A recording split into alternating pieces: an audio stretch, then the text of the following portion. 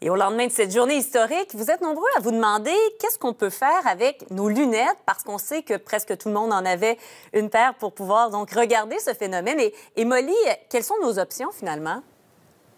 Bien, il y en a plusieurs. Euh, celle à ne pas prioriser, évidemment, c'est de s'en départir euh, en pleine nature mm, parce qu'il il y a des endroits où euh, elles peuvent être récupérées. Entre autres, au planétarium, j'ai parlé avec le directeur général là-bas. On m'expliquait que c'est possible de se faire récupérer là-bas et ça peut durer très longtemps.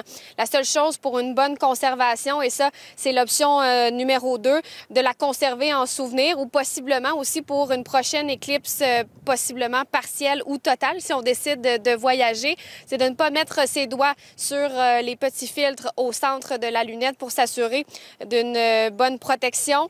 Peut-être aussi, lorsque vous savez, quand on fait sécher des feuilles ou des fleurs à travers des gros livres, ben peut-être de placer ces lunettes comme ça entre euh, des deux objets lourds plats pour s'assurer qu'elles gardent bien leur forme et évidemment leur protection pour euh, l'avenir. Il y a aussi des organisations, des organismes qui récoltent les lunettes pour les envoyer par la suite dans des écoles, dans les milieux défavorisés, par exemple en Afrique du Sud, en Asie. C'est euh, d'ailleurs ce que fait l'organisme Astronomes sans frontières. ça a été fait en 2017 et ça a été un succès. Toujours euh, l'option, évidemment, aussi de les récupérer à la maison.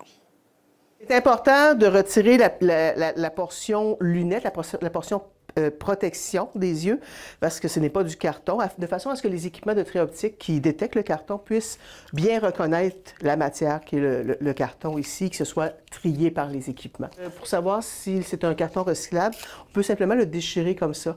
Euh, on voit c'est du carton, ça, cède facilement lorsqu'on le déchire. Donc ça, c'est un carton recyclable pour ceux qui euh, voudront également les conserver éventuellement pour leurs petits-enfants, ben, c'est toujours euh, une option à faire dans une espèce de capsule temporelle. J'ai vu passer ça sur les réseaux sociaux, donc une bonne idée aussi euh, à réaliser à la maison. Merci beaucoup, Molly. Au revoir. Au revoir.